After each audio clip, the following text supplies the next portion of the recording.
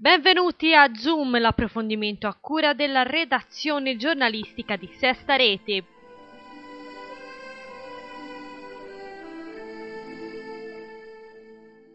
Le numerose iniziative che avranno luogo nel 2011 in occasione dell'anno della cultura e lingua russa in Italia e della cultura e lingua italiana in Russia hanno avuto un preludio a Firenze dove alla Galleria d'Arte Moderna di Palazzo Pitti si tiene la mostra dall'icona Malevich, capolavori dal Museo Russo di San Pietroburgo.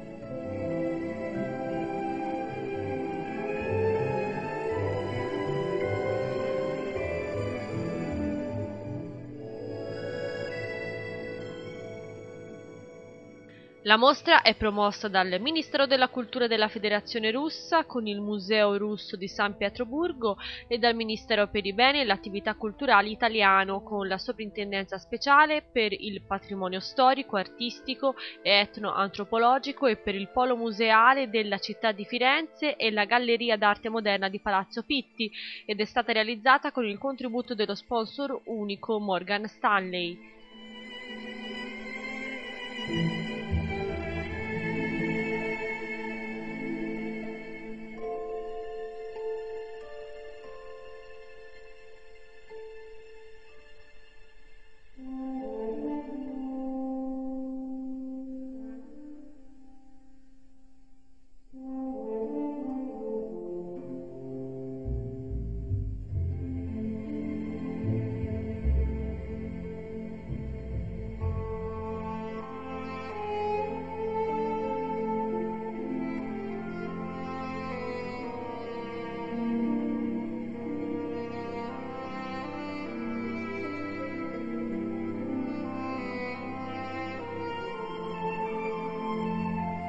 L'Andito degli Angiolini ospita una selezione di 40 dipinti provenienti dal prestigioso museo russo, un numero dimensionato agli spazi non vasti ma seducenti di questi ambienti lorenesi e scelto in modo da offrire un affascinante percorso dell'arte russa dall'epoca delle icone fino alle avanguardie del primo Novecento.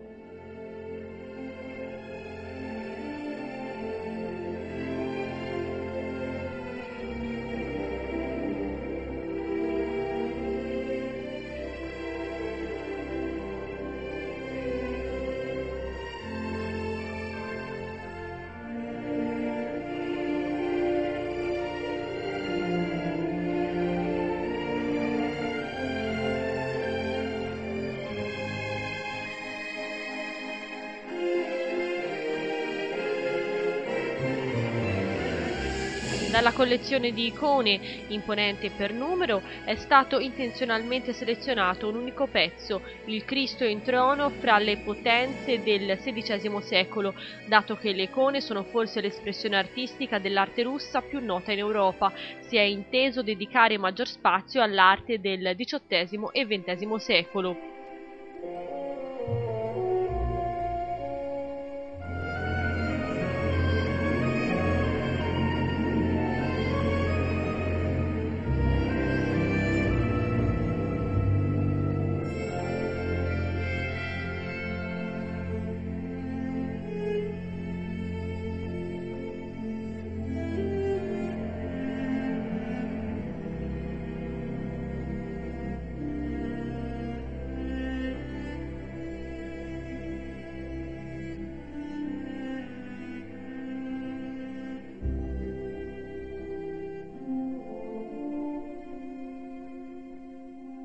Il Settecento infatti l'epoca in cui l'arte russa inaugurò e maturò uno stile moderno. Al riguardo la mostra include due dipinti dell'inizio del Settecento, nei quali si evidenzia il graduale distacco dalla tradizione pittorica delle icone e l'apertura alla tipologia figurativa europea.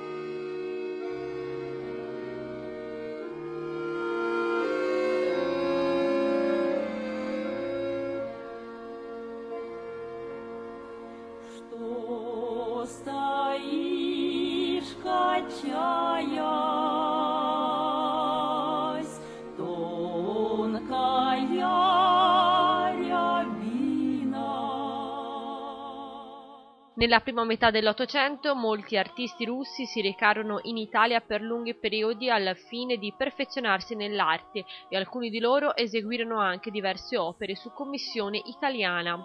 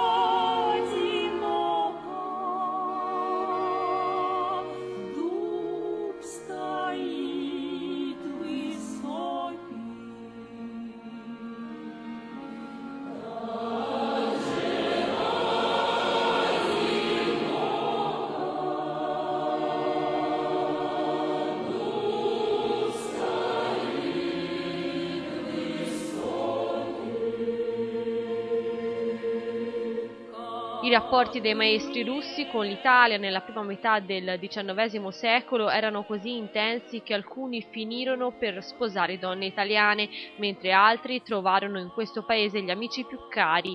L'Italia fu quindi estremamente importante per gli artisti della prima metà del XIX secolo, che nella Russia di allora non potevano godere di libertà d'espressione artistica e per la maggior parte erano costretti a lavorare solo per una committenza ecclesiastica. Amen.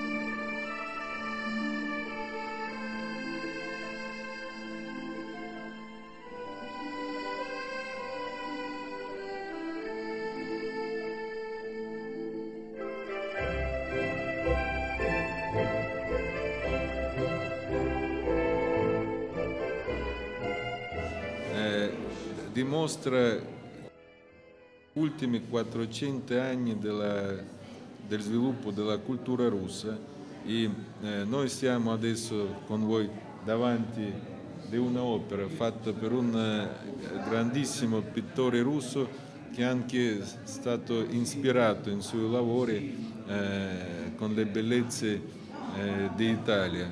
È una, un grande esempio che nostre culture sono andate insieme durante queste centinaia di anni enrichendo in, in, eh, eh, e questo è anche la garanzia che possiamo fare molte cose insieme anche nel futuro.